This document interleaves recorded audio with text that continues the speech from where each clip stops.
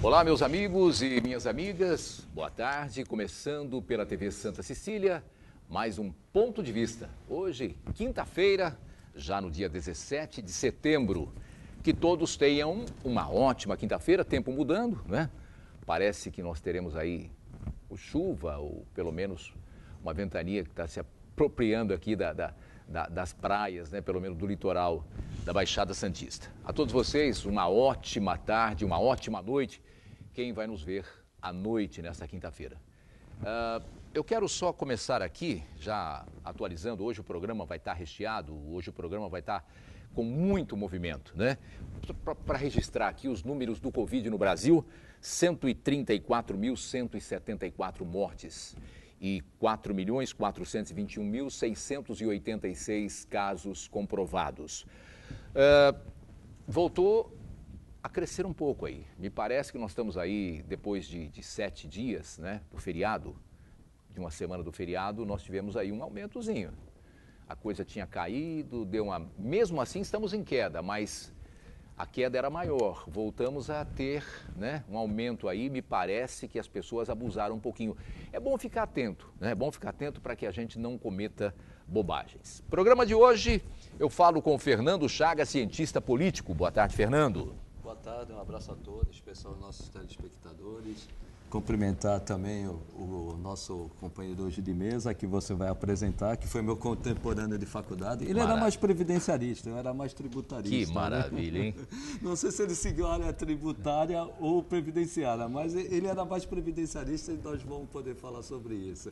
Tributário hoje é um assunto meio chato, né? Mas para falar em tributário, posso falar de Paulo Guedes? Já que você vai falar, já, e vamos falar muito disso, Chagas. Tem muita coisa para falar hoje. Não é pegar no pé. É, é o posto Ipiranga? É o posto. Não, faltou combustível. Então tá certo. Ou, segundo um, um, jornalista amigo nosso aqui, que vai falar daqui a pouquinho, a gasolina está batizada. É, o combustível está batizado. Não, tem nem mais gasolina. Não, não tem, não, então tá. Isso, não, não tem gás, não tem mais nada. Acabou tudo. Acabou tudo. O telespectador que acompanha o ponto de vista sabe que desde o dia 1 de janeiro de 2019 eu falei, hum. Paulo Guedes conhece de mercado financeiro, é um especulador. E a especulação pode, é legítima é. a especulação. Sim. que você não pode é manipular. Aí, né? Aí não, aí é outra coisa. E ele sabe muito bem de mercado financeiro. Conhece. Porém, de políticas públicas, finanças públicas e administração pública, ele definitivamente ele não conhece. Até que o finalmente o, dessa vez eu concordo com o Bolsonaro. Olha, o mas, Bolsonaro o, mas, o, mas o Paulo, pela, pelas atitudes, do jeito que ele fala, ele não quer largar o osso, não. não. Largar. Ele não quer, não. não ele falou, ó, não é comigo, lá mandou o outro, o cartão, o cartão foi para outro, não foi para mim, não. Não vai largar, de jeito nenhum. Até porque ele demorou muito. Ele nunca foi reconhecido pela academia e pelo meio econômico. Teve essa oportunidade? Não, ele foi um homem que enriqueceu no mercado financeiro, enriqueceu legitimamente, é. conhece mercado financeiro, não conhece de política pública. Não conhece de política pública, nesse momento, o Bolsonaro, que ele deveria dar um pito no, no Guedes, na, internamente. Isso que a gente faz, é. a administração pública. Chama o subordinado e, e dá-lhe uma bronca. Mas não é o estilo do Bolsonaro. O Bolsonaro fez política. Já que você tocou sociais. no assunto, quem será o substituto, Chagas? Ele Arrisca o nome. Não, não. Se ele sair, uh, Roberto Campos. Roberto Campos. Tá se, se, ele sair. Ou então, o, o Santana já me alertou sobre isso. Hum. Seria mais um passuelo, né? Aquele que aceita tudo que o Meu Bolsonaro Deus. faz. Que o tá. Roberto Campos não aceitaria. Mas o, ele pediu o Renda Brasil. Só que, como eu disse, o Guedes não conhece de projetos de políticas públicas. Vamos falar do Renda Brasil já. Nós é. vamos falar sobre aqui, que tem muita coisa para falar aqui, porque depois que o homem deu um tapa na mesa lá, deu um murro na mesa, jogou os papéis lá, falou um negócio, parece que desfalou. Existe o desfalou? Não sei, tem na, coisa na, aí, na né? realidade, é. rapidamente, ele é. não conseguiu apresentar o projeto, logicamente, ele foi nas redes sociais, ele se comunica bem, né? É. Ele fala de coisas complexas de forma simples, a população compreende, entende e aplaude, só que não resolve o problema. Sim, mas lá ele, ele mentiu, então, lá? Oi? Lá ele mentiu? Não, ele distorceu. Tá ele distorceu os fatos. Uh, qual é o grande problema? É tem que dar os 300 reais, eu já falei Sim, aqui, sou bem. favorável à renda permanente, só que não tem dinheiro. Para ter dinheiro tem que furar o teto. Se furar o teto, abala o mercado financeiro. Abalou o mercado financeiro, dólar dispara, bolsas caem. E, além disso, encurta o prazo de renovação dos títulos públicos. Em vez de ser um ano, dois anos, esses de curtíssimo prazo serão de, de seis meses. Tá. Isso complica muito. Não, o Bolsonaro não desistiu do Renda Brasil. Ele vai passar para o Ministério da Cidadania contra o nome, ou o Congresso vai tocar isso. Aí hum. o Cleiton pode falar bem. O Congresso que tocou a Previdência toca também a, a Renda Brasil.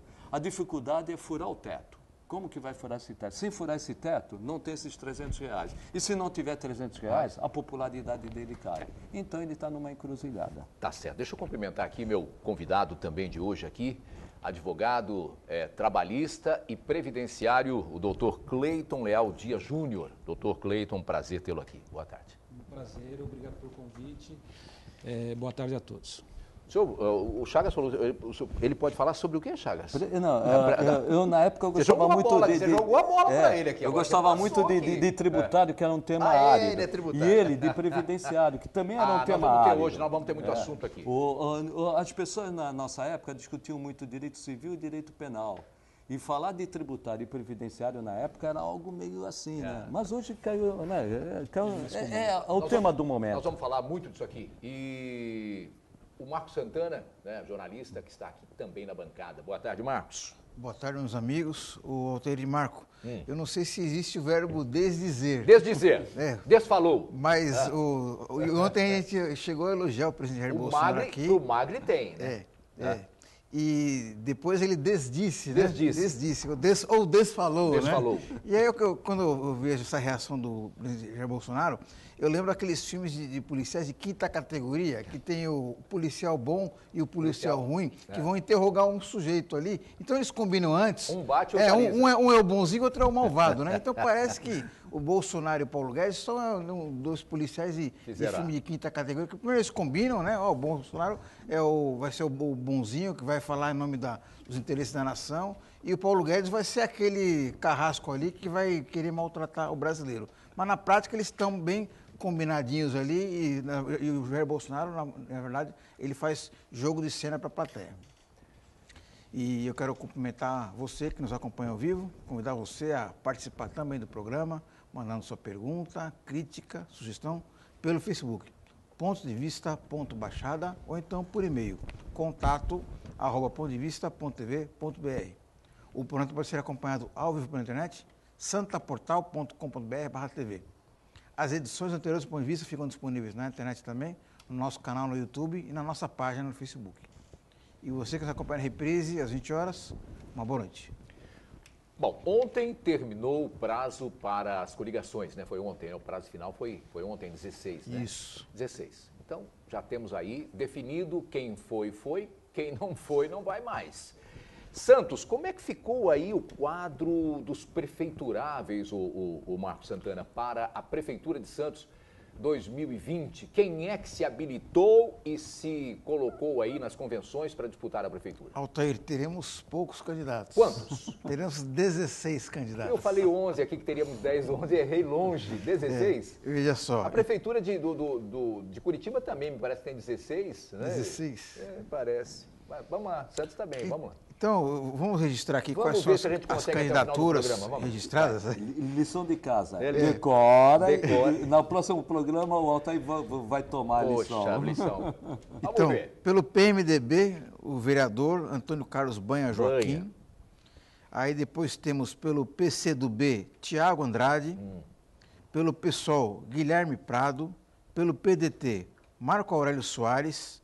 Pelo Cidadania, Taná Correia pelo PRTB Marcelo Coelho, pelo PV Moisés Fernandes, pelo Novo João Vilela, pelo PSD Ivan Sartori, pelo PSDB Rogério Santos, pelo PTB Baiaro Umbuzeiro, pelo PROS Vicente Cassione, pelo Avante Carlos Paz, pelo Democrata Cristão Delegado Romano, pelo PSTU Xavier e pelo PT, Douglas Martins. Esses são os 16 candidatos à Prefeitura, ao Paço Municipal de Santos, né? Na próxima eleição. Na próxima eleição, na, na, no, no, dia 15 agora, né? O primeiro turno das eleições aí, é, que mudou, era outubro, passa para o dia 15 por causa da pandemia. Eu nunca vi um número tão grande de candidatos, né? Também nunca vi. Nunca viu também? Muito expressivo, né? Bom, olha, vou falar, é da democracia, viu? Isso é a democracia. E graças a Deus a gente vive a democracia. Então, sejam bem-vindos todos os candidatos, boa campanha para todos, né? O eleitor tem aí a, a sua disposição aí um número, um leque né, de nomes para ficar bem à vontade, para não falar, não, não tinha nome. Nome você tem demais agora, né? Pensa mas bem, mas não gente, faça bobagem. Ah. Aí a gente até pode fazer uma análise rápida. É. Primeiro, não tem a reeleição. Uma coisa eu acerto. É. Uma coisa eu acerto. Eu vou ter um novo patrão. Com certeza, não tem jeito. O, o prefeito Paulo Alexandre Barbosa não vai à reeleição, já foi reeleito. Então, acho isso um ponto. Então, todo município que não tem reeleição, acho que facilita a, a, que muitos sim, sim, sim. tentem a, a, candidatura a prefeito e, e, a cadeira a cargo de executivo. E outro, aquele nome feio, né? Nós vivemos um momento disruptivo hum. na, na política. Todo mundo acha e principalmente os novos que nunca participaram da política, que nesse momento tem chance. Já que não tem o prefeito, que é, atualmente é bem avaliado, a candidata à reeleição, todo mundo acha que tem chance. É. Então acaba saindo. Aí vamos ter uma discussão, uma discussão entre 16. Acho que fica bastante complicado. Mas, Eu... como você falou, é da democracia. Costumeiramente, ah, nós temos aí o debate pela TV Santa Cecília. E nós teremos. Eu esse debate vai ser interessante, pois não, João? O Alter, tem duas, eh, duas coisas que eu que acho que, que, chamam muita atenção. Primeiro é o seguinte, é a ausência de uma mulher candidata. É. Né? Não temos é. nenhuma mulher que represente o sexo feminino. Deputados. Né? Deputados também. Deputados e outra coisa interessante também é o perfil do, dos candidatos. A grande maioria é um perfil mais conservador. Né? Nós temos 16 partidos, apenas quatro se identificam com o segmento mais, que eles dizem progressista, mais à esquerda. Mais à esquerda. E os, os, demais mais ao centro, e direita e extrema direita também. Né? Esse, o, é, é mas isso é uma coisa né? natural, que até reflete o próprio perfil do eleitor santista. Na eleição presidencial, no segundo turno, aqui em Santos, de cada três votos é, válidos, dois foram conferidos ao presidente Jair Bolsonaro. Então, quer dizer, na verdade, esses candidatos que agora se, se lançam, eles refletem sim o perfil do eleitor santista. Né? Mas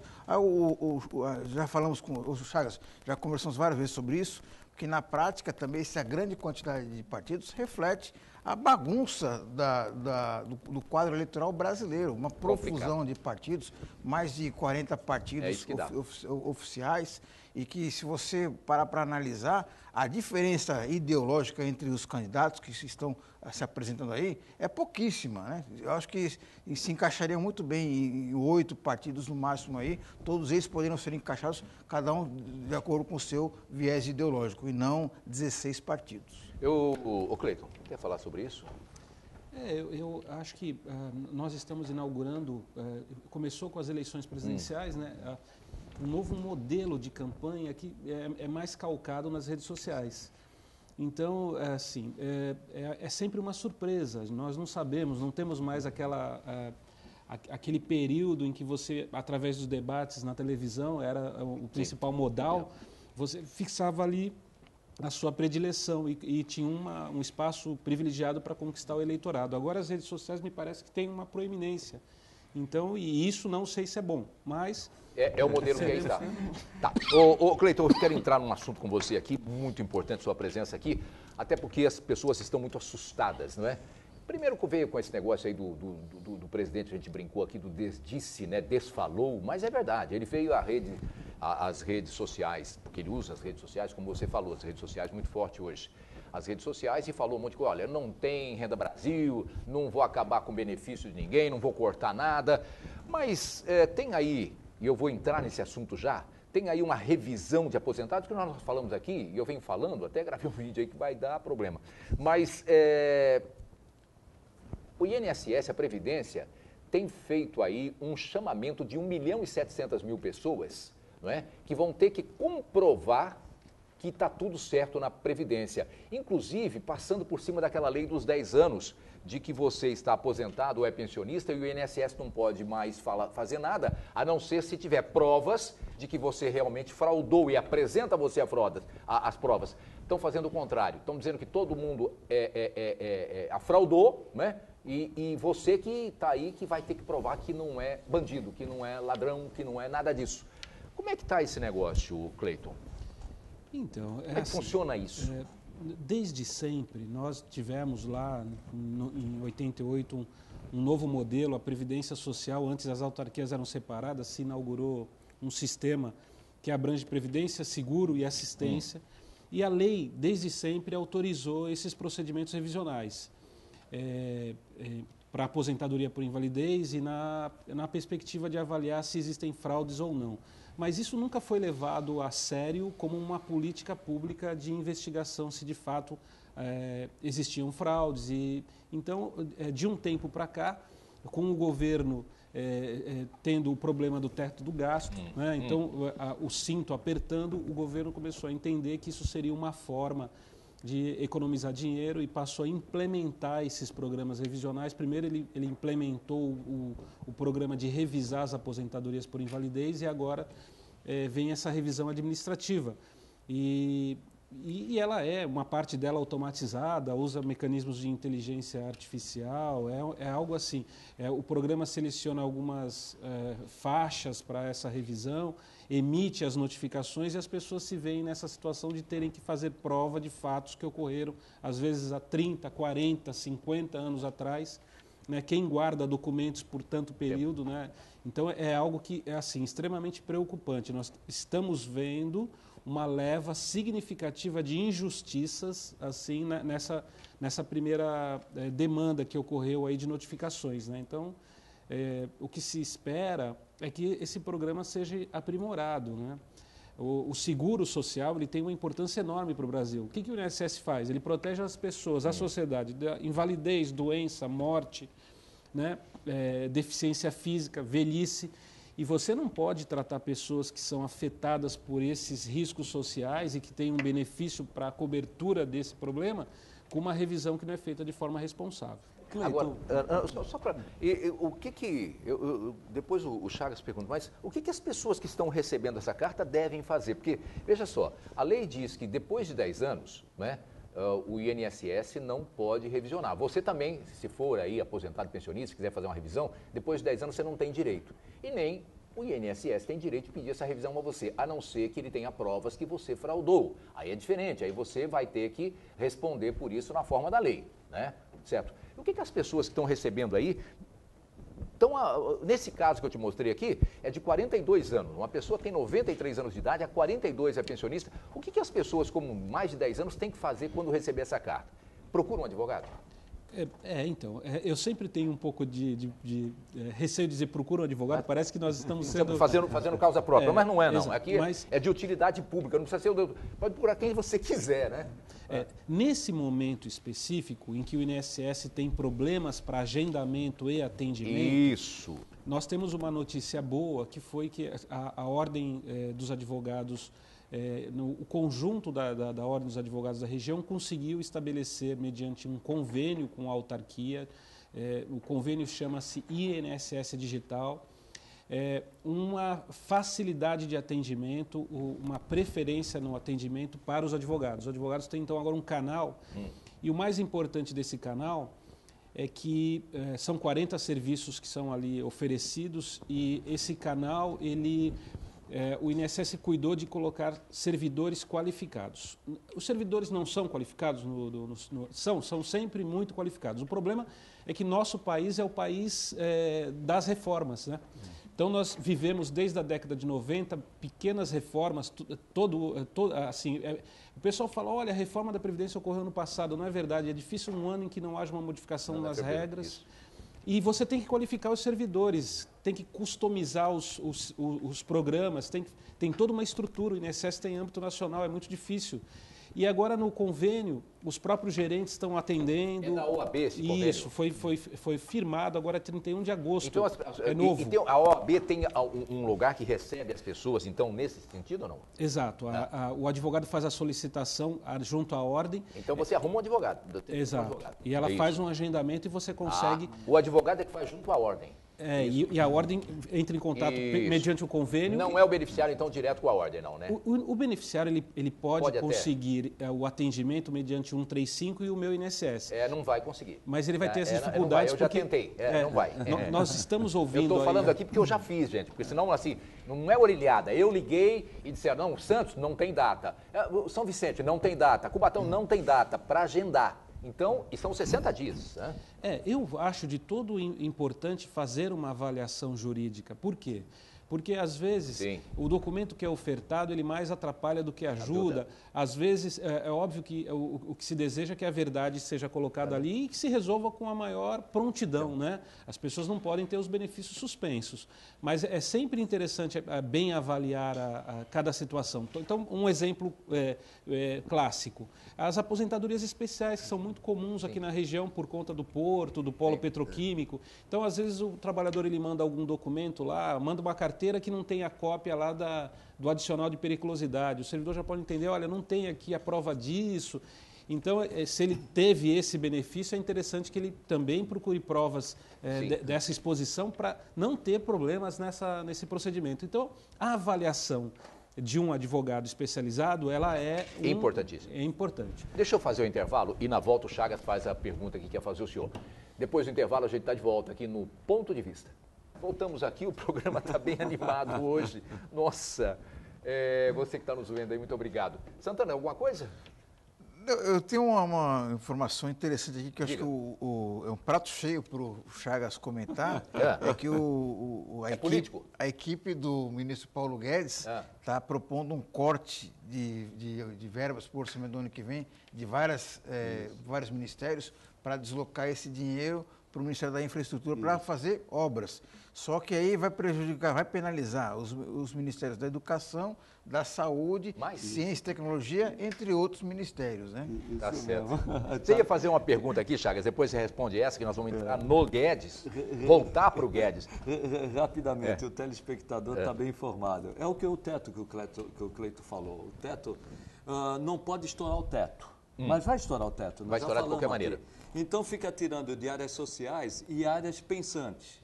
É, esse governo ele não gosta nem do social, embora o Bolsonaro esteja fazendo publicidade em cima do social, e não gosta da hora, da, das áreas que pensam cultura, educação e por aí afora. Né? Ciência e tecnologia, então eles estão tentando cortar daqui para colocar infraestrutura para recuperar a economia do Brasil e gerar emprego. Mas seguindo o teu raciocínio, é. uh, Altair, eu ia mesmo nessa direção, na questão de prescrição, se isso não prescreveu ou, ou caducou, uma das duas, né? Hum. Uh, mas ele, o Cleito já, já se manifestou sobre isso. Mas tem um, um outro ponto, é um ponto mais econômico, né?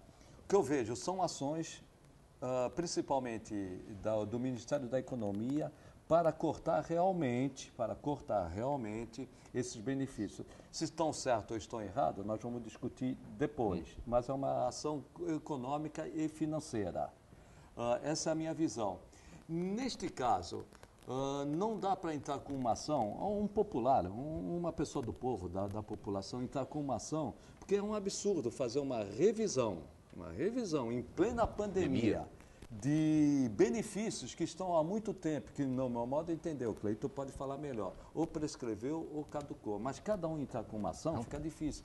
Poderia ter uma ação popular uh, para, pelo menos, prorrogar essa revisão no momento em que o país voltar. a, a normalidade, ao, ao, novo normal. Ao, pelo, normal, ao pelo novo normal. Exato. Então, o Ministério Público Federal, nós temos conhecimento de inúmeras iniciativas, né, vem estudando isso, de pedir a suspensão. Esse, esse programa ele teve início lá atrás, mas não foi suspenso no curso da pandemia, o que é realmente inacreditável, porque você exigir que uma pessoa idosa junte documentos, saia de casa, leve isso lá no, junto ao INSS, quando ela deve ficar em casa, isolada, se cuidando, é inacreditável. Então, de fato, é, o programa deveria ter sido suspenso nesse momento.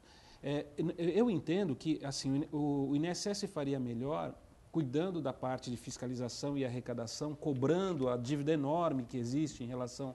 E isso traria um resultado econômico melhor do que é, a, a, essa caça às bruxas, assim, dos erros. Né? Isso é preciso ser feito, mas já há na concessão um sistema né, cuidadoso de verificação para a concessão do benefício. Então, eu acredito que essa revisão ela não vai trazer frutos muito expressivos no sentido de trazer ao governo esse alento que ele deseja de sobra de recursos para não bater no teto. Seria melhor, talvez, focar é, na cobrança e não na, na, na, na, subtração do segurado do benefício. Como colocou o Chagas aqui, poderia esperar um outro momento, pelo menos depois, né, que revisar ou, ou que se analisasse as perícias que estão paradas. Quantas pessoas estão sofrendo porque não conseguem fazer a perícia? Quantas pessoas estão passando necessidade porque não conseguem fazer a perícia? Os médicos dizem que não vão voltar. As agências não estão preparadas, segundo os médicos, né? os peritos. E aí, eles fazem essa maracutaia toda aqui. Que coisa de louco. Não dá para entender. Eu acho que o Chagas tem razão. Eles querem cortar mesmo. O, o, a, a, coisa é cortar. Corta, corta, corta. Precisamos é. arrumar dinheiro. É, em relação às perícias, é, o presidente do INSS essa semana veio né, em, em, rede nacional e, e, pediu desculpas, disse que reconhece o erro, porque é muito difícil, é óbvio, é, quando o, a, o, quadro de Covid agrava, a pessoa precisa de um afastamento Gente. superior a 15 dias. E ela precisa da perícia. E os médicos estão solicitando o quê? O mínimo de, de, de máscara, né? álcool, para atendê-los. E, e o INSS não se preparou para isso. Quer dizer, nós temos o seguro social que atende toda a sociedade brasileira absolutamente parado por problema. Exatamente, por uma falta de uma gerência eficiente que planeje o mínimo para que esse atendimento ocorra. Né? Então, isso tem que melhorar de fato, a gente precisa evoluir. Santana, você pediu aí... O, e o Denis ah. Dias de Araújo acompanha a gente aqui ah. e ele tem uma questão. A suspensão ou de pensão, de pensão por morte, ele pergunta se a melhor medida não é, é um mandado de segurança. É, então, o mandado de segurança ofensa a direito líquido e certo, né? E essa revisão foi, é, tem uma lei que fundamenta e assegura o governo o, o, o, procedimento de fazer.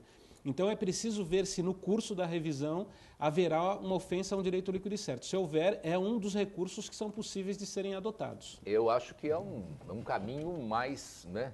Sei lá, é um caminho. Ah, eu tá... iria com uma ação popular, não sei se eu estou correto. Pega um, alguém que tem título de eleitor. Olha, eu, tá vou, eu, vou, eu vou fazer um chamamento aqui a, a centra, como é que chama? Aos, aos, aos, sindicato, sindicatos. aos sindicatos. Atenção, presidentes de sindicato, meus amigos, a gente tem aí um monte de amigos.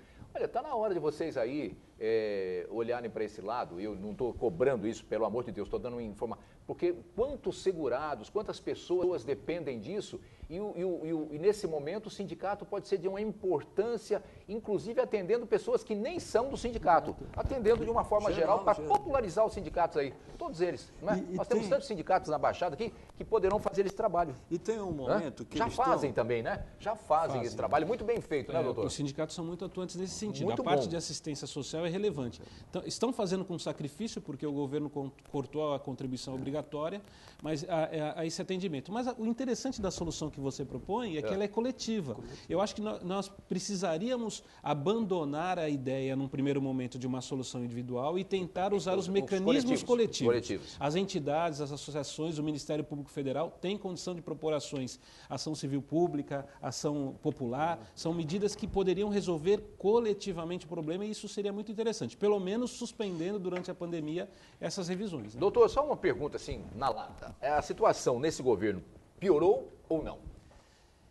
É, é, nós tivemos uma reforma, a reforma né, do, do final Opa, do ano passado. Mas é, é o meu papel aqui, é, doutor. veja só, há muito é. tempo que o governo reclama do, do, do gasto com a Previdência. Né? E, e, eu não vejo justificativa para isso, porque, na verdade, se, se, você olha outros parâmetros, há tanto desperdício, né? então a Previdência, ela, como eu disse, ela tem de riscos sociais, morte, doença, acidentes, é, deficientes físicos, idosos, velhice. Então, é, é, importante a gente ter um seguro social forte. Mas desde a década de 90, a grande verdade é que todos os governantes têm uma dificuldade de fazer uma reforma limpa e entregar uma nova Previdência. O que, que vem sendo feito? Vem sendo feito retalhos. Então, você vai diminuindo primeiro o valor do teto, depois você diminui a renda através de uma alteração no salário de contribuição, depois você coloca uma fórmula, ah, fator previdenciário, para diminuir o valor do benefício, diminui agora Sim. na última reforma o percentual do benefício.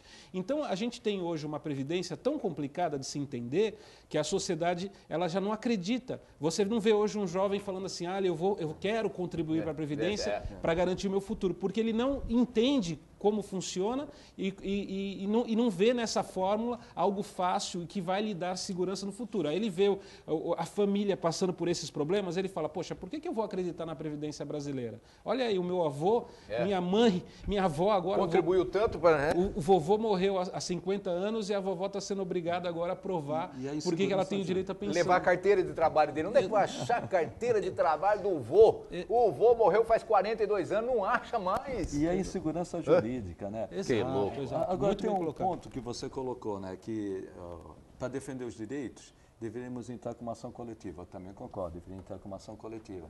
Agora, quem está atacando pelo, de forma coletiva e de forma individual, no varejo e no atacado, é o governo federal. O governo federal, com essa revisão, ele tenta realmente, no varejo, eliminar o pagamento da aposentadoria. Mas ele já viu que a economia não vai ser grande. Então, o que, que ele insiste? Ele volta de novo em, em, pegar qualquer projeto, agora o Renda Brasil, e cortar o BPC. O BPC é o benefício de prestação de continuado. Nossa, continuado. Ele já vem tentando isso desde a reforma da Previdência. Uma hora ele vai querer encaixar isso. Por que ele vai querer encaixar? De novo, tirar direitos já adquiridos de, de quem tem e benefícios para pessoas idosos e deficientes físicos. Então é um governo. A, a, até é estranho, Cleiton, que eu e o Marcos. Santana sempre tivemos em lados opostos. Ultimamente nós temos. Tudo do mesmo lado. um liberal é, e, é, e, outro progressista concordando é, na mesma. Eu, eu, tenho uma visão diferente. Assim, o que, que eu enxerguei dessa postura? É, o, o, é, o, o, governo percebeu que o benefício assistencial dá popularidade. A popularidade está sendo mantida por conta da, da, do, do, bem, pagamento, é. do pagamento. Quando, então, vamos fazer o Renda Brasil. Quando um técnico falou, ah, a gente vai fazer o Renda Brasil, mas tirando de outros benefícios, é. ele matou politicamente o, o, o, a iniciativa. iniciativa. Então o presidente voltou atrás, dizendo, não, eu nunca vou tirar de outros Isso, benefícios é. sociais, e agora vão reapresentar, porque todo mundo quer ser pai de um benefício que já existe e foi implantado por governos anteriores. Isso, Essa é a grande verdade. Esse, esse, eh, essa prestação de, de benefício de prestação continuada, continuada é. ele atende quem? Deficientes físicos e idosos cuja renda familiar per capita é inferior a um quarto do salário mínimo. É uma, é uma miséria, né? Quer dizer, você tirar esse benefício dessas pessoas é negar a assistência social brasileira, que, é já, que já atende uma, eh, eh, assim, muito pouco, né? Atende realmente quem está muito marginalizado da, da, da, da sociedade. Então, assim, o que eu percebo é que haverá isso. É, os benefícios vão ser remodelados para que venha um novo programa com um novo nome e não acho que vai ser melhor. Mas espero que o meu pessimismo não se confirme. Né? Olha, é, ele veio às redes sociais e disse, vocês viram lá, pegou um monte de papel e falou, olha, Folha de São Paulo, não sei o quê, tá aqui, tal, tal. Eu vou dar um cartão vermelho, jogou lá tudo, né? Vou dar um cartão vermelho, quem falar nisso, não se fala mais nisso até 2022. No meu governo se fala mais nisso. Aí agora, por outro lado, o cara está representando lá. Quem está representando, Fábio? É, é, tem uma, é, um projeto que está correndo de, uh, de uh, tributação e também de benefícios, e ele vai pegar um deputado, provavelmente o líder do ainda, governo. Ainda não, ainda não, não, não, ainda provavelmente não. o líder do, do governo. Vai, vai, vai pedir isso. a implantação é, do Renda, é, é do renda Brasil. Chamamos, é o que chamamos a criação de, do Renda Brasil para o ano que vem. E o, tá? o Altair conhece bem, já foi presidente da Câmara. Tem um jabuti. Você pega um projeto que está em andamento e tem vários. Sim. Uh, ou de tributação, ou de benefícios, ou de finanças públicas e coloca esse jabuti. Faz, um, faz uma emendazinha. Como ele é agradável, como o Cleito falou, e aumentou a popularidade, é bem provável que, que passe. Ou então, eu, eu vejo Mas aí não é ele que fez. Aí não foi ele. É, aí não é. Mas como ele. Não foi ele que fez o auxílio emergencial. E todo o mérito foi, foi, foi para ele. Porque quem paga é o governo federal. É, muito embora a proposta inicial era de 200 reais. Foi o Congresso que ampliou para 600. É, né? Deve-se é. agradecer aí então, é. ao Rodrigo Maia. Porque se o Rodrigo Maia não, não foi peitar. E, e, vamos colocar que tem muita gente que fala, ah, Rodrigo Maia, é, fora Rodrigo Maia, mas vou, vou falar, nesse caso dos 600 reais, a proposta do governo, do Bolsonaro, dele e do Guedes eram de 200 reais. 200 reais. Quando foi para o Congresso, o Rodrigo Maia matou no peito e falou: não, não. 500. 500. E aí ficou nos 500. O governo, quando viu que tinha perdido a batalha, falou: então não vai ser 500, vou pagar 600. Não foi? Foi, foi exatamente foi isso. isso. Mas, mas, o problema Graças todo, a Deus. O, né? o, esse benefício para a população em geral, quem paga é o governo. Então, quem recebe todos os médicos é o governo. É o governo. Então, para o Bolsonaro, tanto faz, tanto Maravilha. faz. Embora ele tente ainda, pelo Ministério da Cidadania, emplacar o Renda Brasil com outro nome, para dizer que é dele. Mas se não passar, com uma, um jabuti no, no projeto que está lá, passando isso e o governo pagando, Olha, agora a dificuldade vai ser pagar, que não tem recursos para isso. Olha, gente, ah, pode, pode, pode, Quem paga, na verdade, é a classe média com tributos isso. caríssimos né? A, e, e, atividade produtiva, porque a sociedade realmente é que custeia. O governo ele só escolhe para onde o dinheiro vai. Porque, e, e, esse é um grande problema. Se, se essa conta, não, não, não, se nós não tivermos claro para onde vai o dinheiro e como fazer esse ajuste, certamente teremos aumento tributário. Como já vem aí a proposta do CPMF. Disso, né? é, porque, outro nome, né? É, então, Por quer isso. dizer, então, é, o governo, na verdade, ele, ele, ele leva o mérito, é teoricamente, é. mas, na verdade, a sociedade, a sociedade. Com, com as contribuições sociais. Exatamente. Uh, e o, o, o Maia, é. dessa vez caiu numa armadilha, concordou com Guedes, é. de que tinha que tirar de benefício de pobres e colocar para paupérrimos. Foi, foi, Aí, nesse ponto, foi, a, como foi o Cleiton falou, a grande sacada do, do Bolsonaro, Bolsonaro. nas redes sociais. Olha, a coisa está feia. E aqui um alerta, né? É para o agronegócio para o homem do campo, de quem eu sou defensor e tenho origem. Eu tenho origem do campo, né? Sou caipira, pé vermelho lá do Paraná. Quando nasce no, no norte do Paraná, é, a gente é chamado de pé vermelho, pé vermelho. E, mas hoje, é, ou ontem, nove países, nove, nove países da Europa já mandaram um recado ao Brasil. Olha, vai ficar difícil a gente continuar comprando de vocês se continuar esse desmando, esse desmatamento, esse ah, absurdo que está acontecendo no Brasil é, de desmatamento, do fogo que não, não se toma providência. E olha só, o governo, tomando uma providência hoje, mandou 10 milhões, olha só, 10 milhões para combater o fogo que está na Amazônia. 10 milhões, gente, não dá para começar, não dá para não dá para nada, não é? Então, o que está acontecendo no, no, no, Cerrado, o que está acontecendo né, no, Pantanal. no, Pantanal. e na Amazônia de uma forma geral, e disseram que lá não pega fogo. Ah, não pega fogo. Eu não sei o que está acontecendo lá então. Se não pega fogo lá, está matando onça, onça morrendo, é jacaré morrendo, é cobra morrendo, está acabando com tudo. Está acabando com tudo. Cerca de 20% do, do, do Pantanal já foi queimado. E o recado veio da Alemanha, encabeçando, né? E de nove países europeus. Olha, vai ficar muito difícil a gente continuar comprando é, o agronegócio do Brasil. Ô, Altair Marcos, semana retrasada, muita, muitos santistas ficaram comovidos um por conta de um ato de vandalismo, duas estátuas na, na, na, na Jardim da Praia ali, essa da, da Lídia Federici e também da Zezinha Rezende, né? que os, os vândalos foram ali, arrebentaram a, a escultura para roubar a placa de bronze para vender para o ferro velho. E aí eu lembro, do, da, da, quando eu vi essa, essa, cena, eu lembrei do que disse aqui o jornalista Marcos Fernandes, quando participou desse programa, de que, na verdade, esses desmatamentos de, de, de, são práticas dos milicianos da floresta, que, na verdade, eles estão fazendo um vandalismo num patrimônio nosso. Né? Se a gente ficou é, sensibilizado por conta de uma placa de bronze, imagine, então, o dano, o prejuízo provocado por é, milhões de, de, hectares, de metros quadrados de, de, floresta nativa, um potencial imenso ali. Da fauna, da flora. Da flora, né? da fauna, e também flora, potencial e... econômico ali, Não. potencial farmacêutico, potencial alimentar. A biodiversidade, assim toda, já. Na verdade, você, não acha que, você não acha que, emendando uma pergunta para vocês aqui, para a gente para o intervalo, essa coisa do agronegócio, a, esse desmando todo não pode prejudicar, até derrubar aí parte dessa popularidade do governo Bolsonaro? No caso do eleitorado dele, não. Você acha que não? Não, eu, eu não. vejo mais o lado econômico. O, o, bolsonarismo vai ficar, inclusive quando o Bolsonaro passar, há um, hum. uma parte da população brasileira que, surpreendentemente, não é de direita, é de extrema direita e defende essas ideias. É, é, é a ideia, é a ideia do bandeirante. Sim de destruir, destruir, de destruir, desbravar, é. abrir. Só, só, que o problema eu vou para o outro lado, o econômico. Você falou da Europa. A Europa realmente daqui a pouco não vai, vai comprar, comprar, mais nada. Vai arrumar substituto, substituto. Mas como você disse, você é pé, pé vermelho. Você sabe que o agronegócio depende de financiamento e os bancos nacionais não vão financiar mais o agronegócio daquele que estiver desmatando.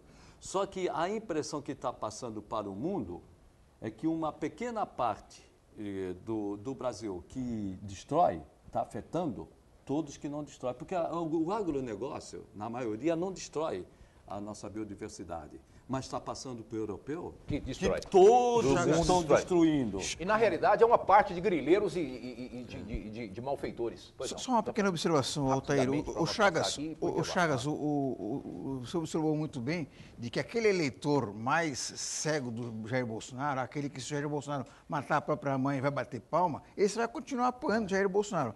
Agora, tem uma parcela significativa de empresários que até agora apoiam o Jair Bolsonaro, vão deixar de apoiar quando passar a mexer na no parte bolso. mais sensível do tá corpo dele, já, que é o bolso. os bancos. Exatamente. Os bancos, sim, esses grandes é, empresários do, do, do, agronegócio, quando Pode deixar sentir. de perder é. É, exportações, aí sim vão pensar é, meia vez para deixar de apoiar Doutor o Jair Cleiton. A, a, a, essa queimada nos, nos remete um, a um país de desmandos, né?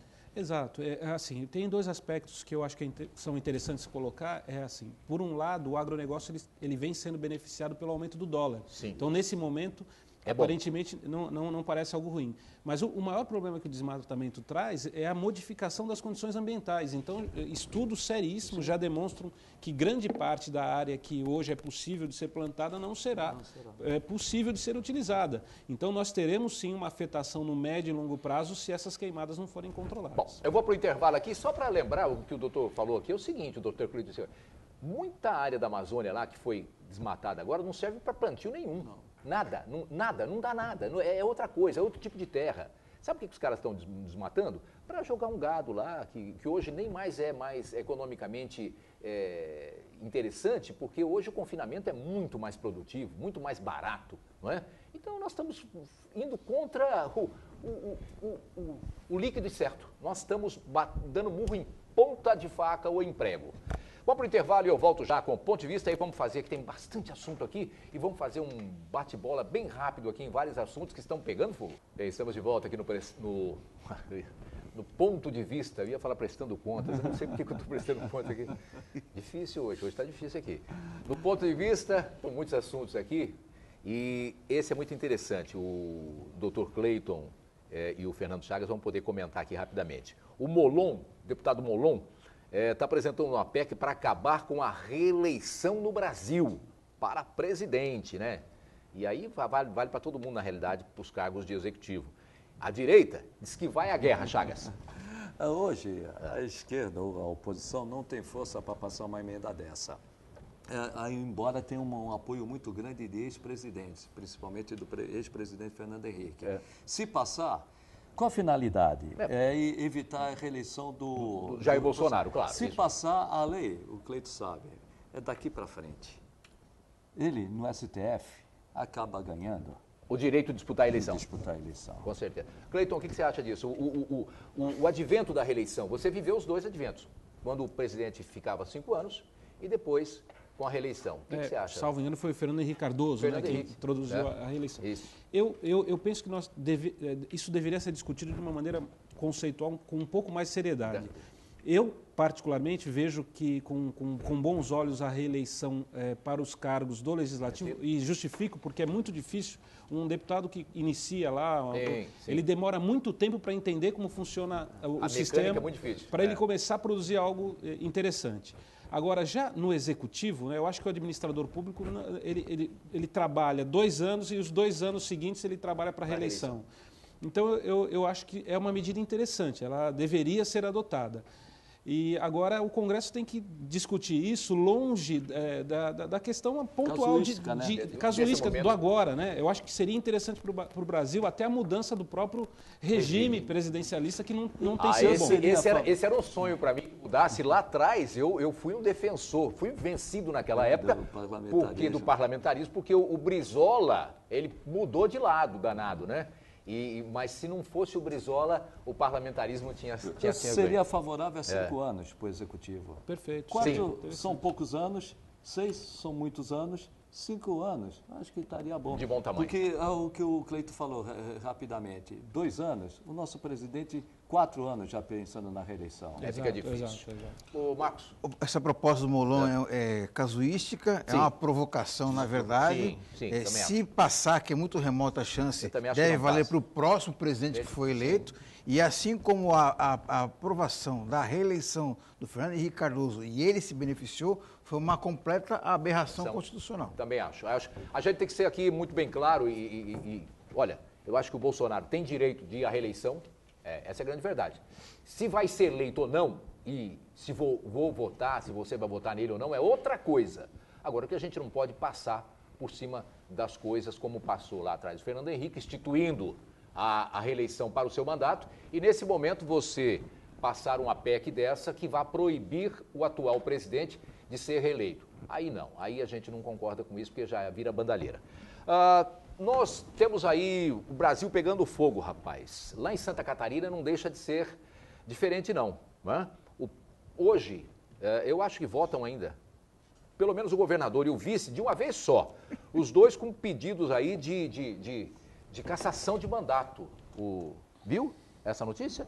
E me parece que o Witzel também já está a caminho, né? É, no, no caso ah. do, do Rio, inicialmente Caio Witzel e depois. O, o, o governador que já foi. O já está mais enrascado. Tá mais enrascado. outra coisa. O, Rio é um. Lá em Santa Catarina é um cai nos dois de uma vez. É, e, e, o de Santa Catarina também vai no mesmo caminho. E se não cair, já não tem mais, não digo legalidade, legitimidade para se manter no, no, no governo.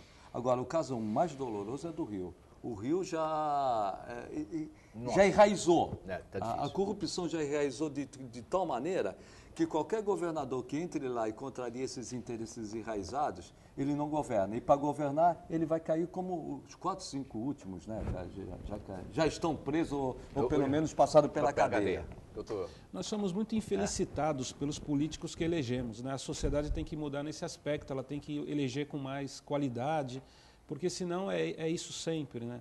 E, e, e, o, o, o, Rio mostra que nem sempre o novo né, é, é, é o melhor. É o melhor, quer dizer, então o critério é, tem que ser um mais, com, mais cuidadoso, é muito difícil, né, muito difícil. O que eu lamento, a gente olha esse quadro e, e é uma infelicidade que o Rio de Janeiro tem que enfrentar essa situação. E olha, o novo, é. rapidamente, o novo não quer dizer melhor, pode é, ser pior. Pode ser pior. Olha, desgraça pouca dizem que é bobagem. No caso de Santa Catarina, o, o meu produtor está me, me, informando aqui, que eu não sabia, olha só. É, o presidente da Assembleia Legislativa também está sendo denunciado. Ele seria o sucessor, porque quando, ter, é, quando cai aí o governador, vai para o vice. Quando cai o vice, né, por, por qualquer que seja morte ou impedimento pela justiça, quem assume é o presidente da Assembleia Legislativa. Né? O presidente também está sendo denunciado, então não vai ficar pedra sobre pedra em Santa Catarina. É, o presidente do TJ. Meu Deus do céu, o presidente do TJ, vai, né? Aí tem que ter nova eleição. Dependendo da, da, Constituição Olha. de cada estado, ou tem eleição direta ou indireta. Na Constituição Federal, que não é a Constituição do Estado, se sair uh, os dois, presidente é. e vice-presidente, nos dois primeiros anos, eleição direta nos dois últimos anos a eleição direta. Se saírem os dois, o que, é o, o que caminha para o Rio. Caminha, é, caminha. Um aspecto interessante é que a gente viveu durante décadas reclamando que não havia por parte Foi, da parte também, política isso, esse filtro. Esse, Hoje, agora, é, não, eh, se verifica que o próprio Disso poder... a gente não pode reclamar, né? Exatamente. Está é. Procurando é, expurgar né, a, a, aqueles que não andam de acordo com a legalidade ou com a moralidade administrativa. Isso é um, é um, é um prenúncio eu, Não, isso, isso eu acho que é um avanço. Agora, o Rio de Janeiro é complicado. O Chagas colocou aqui, a única que não foi presa no Rio de Janeiro, dos últimos governadores que eu conheço aí, foi a Benedita da Silva. Só a Benedita que não foi presa. O resto foi tudo preso.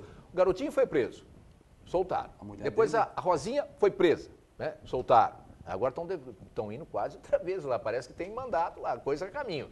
Depois foi o Sérgio, o Cabral. O Cabral está tá em cana quase 300 anos já. Você não vai, vai ficar 300 anos? Não, não chega, né? Não dá, ninguém vive para isso, não pode ficar mais que 30 anos preso, mas difícil. Aí o Pezão, que era o vice do, do, do Cabral, Cabral se elegeu governador, preso também. Soltaram ele por causa da pandemia e tal, tal. Agora o Witzel está a caminho. Está a é, caminho. O curioso é que esses esquemas todos, me parece assim, são antigos. Então o que você vê é, é um problema estrutural e que a pessoa que é eleita, né, eu não quero defender o governador, particularmente não tenho nenhum apreço, Sim, mas, mas é, é, você acaba tendo uma dificuldade enorme de, de, interromper um ciclo no Rio de Janeiro que é estrutural. Você vai ver, o, o esquema está montado em várias secretarias e vai até a prefeitura e volta para lá e volta para cá. cá. Quer dizer, então, é, vai ser muito difícil a população do Rio de Janeiro se livrar do problema.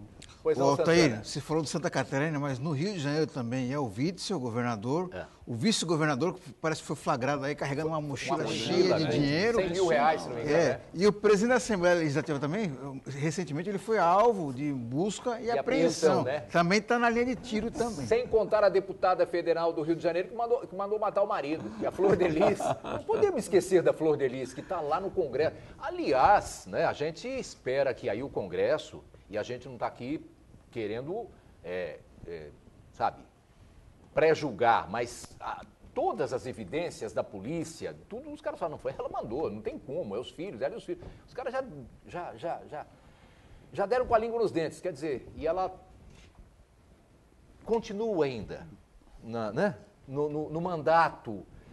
Eu não estou entendendo lá o que está acontecendo. É, tem o famoso corporativismo. Então, né? mas, não, mas, mas o, o, Congresso é corporativista, até entendo que seja, mas não com crime de responsabilidade, crime de manda de morte, né?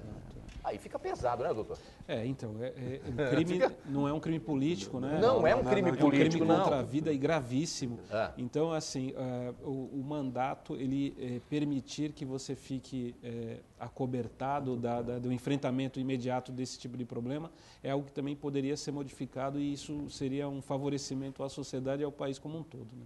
Altair, Bom, aproveitar, rapidamente aproveitar o, Cleito que ele está no dia a dia. Eu também vou aqui para encerrar com ele aqui. Rápido, com a, rápido, rápido. Ah, que é, eu entendo que é importante. Ele está no, no, dia a dia do, do judiciário. O que você acha do ativismo do judiciário e uh, político, uh, do ativismo político do, do judiciário hoje? e da judicialização da política, ativismo do judiciário e da judicialização da política. É, o, o, pessoal usa o, é, é, muito essa, essa expressão lawfare, significa exatamente utilizar mecanismos judiciais para atingir politicamente determinadas pessoas. É, assim, é, é, muito difícil de você constatar isso. Né? A gente tem, muito, tem que tomar muito cuidado para não é, começar a generalizar. Na verdade, o judiciário, é, é, dos três poderes, todas as pesquisas mostram que é o mais preservado em termos assim de corrupção, de indicadores de ele é um serviço eficiente.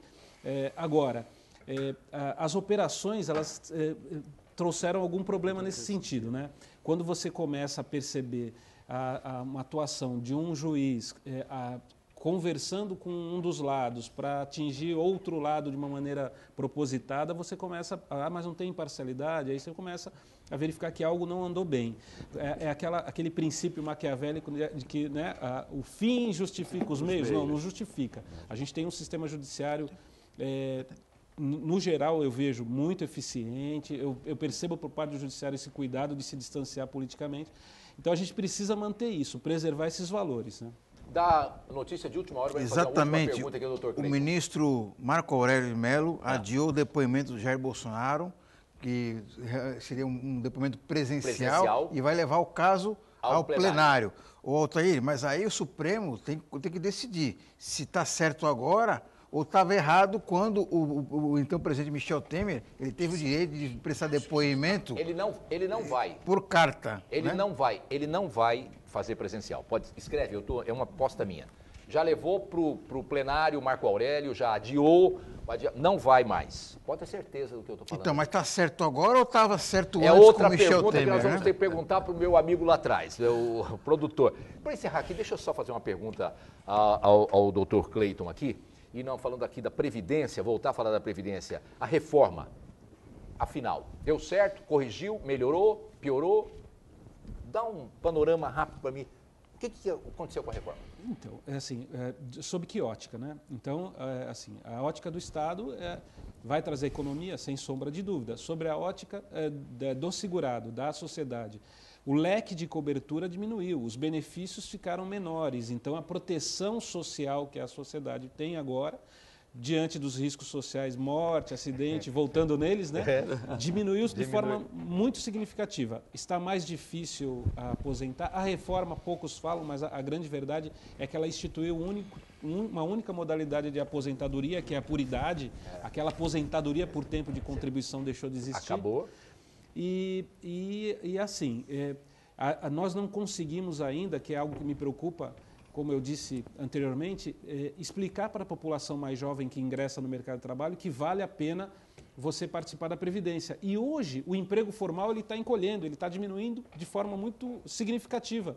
E você não vê os jovens que trabalham em, em, prestando serviços, é, preocupados em fazer os seus recolhimentos e terem é, para terem a, a, a cobertura da, da, da Seguridade. Então, a Seguridade, ao meu modo de ver, está falhando no sentido de mostrar o quanto ela é importante, de apresentar planos que sejam efetivamente interessantes e importantes para a sociedade. Essa, essa reforma da Previdência só favoreceu um setor, hum. as Forças Armadas, que saíram com aumento de salário, com a integralidade e com a paridade. Mas também as Forças Armadas do de, do oficial para cima, né? Do oficial para cima. Do oficial para cima, porque o pessoal de baixo continua ganhando muito mal. Marco, para encerrar. Para encerrar, é exatamente isso daí, né? É sempre os mesmos que acabam se beneficiando com essas, entre aspas, reformas. É, as reformas. Essa reforma, quando, quando veio a reforma, né, as pessoas ficaram muito preocupadas se consegui, como, como é que seria para frente.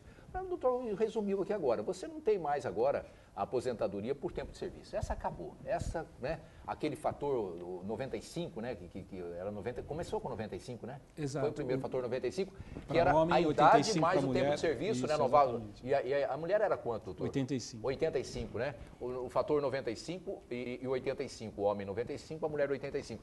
Acabou isso, velho. Agora você é tudo diferente. Não dá mais. Bom, de qualquer forma, quero agradecer aqui, doutor Cleiton, muito obrigado, um prazer tê-lo aqui. Muito bom a gente falar de previdência. É um assunto que não se esgota, até porque nós temos aí esse problemão pela frente agora. Estamos vivendo na pandemia e as perícias não tendo feitas, a revisão está vindo aí. Vamos falar com tudo isso. A gente volta um dia ainda. Muito Eu agradeço o convite, obrigado a todos, muito obrigado, obrigado espectadores, obrigado pela participação. Chagas, um abraço. Até a próxima. Marcos. Obrigado, até a próxima, até amanhã. A todos vocês que ficaram conosco até agora, um grande abraço. Amanhã a gente volta aqui no Ponto de Vista pela TV Santa Cecília. Até lá, boa tarde, boa noite.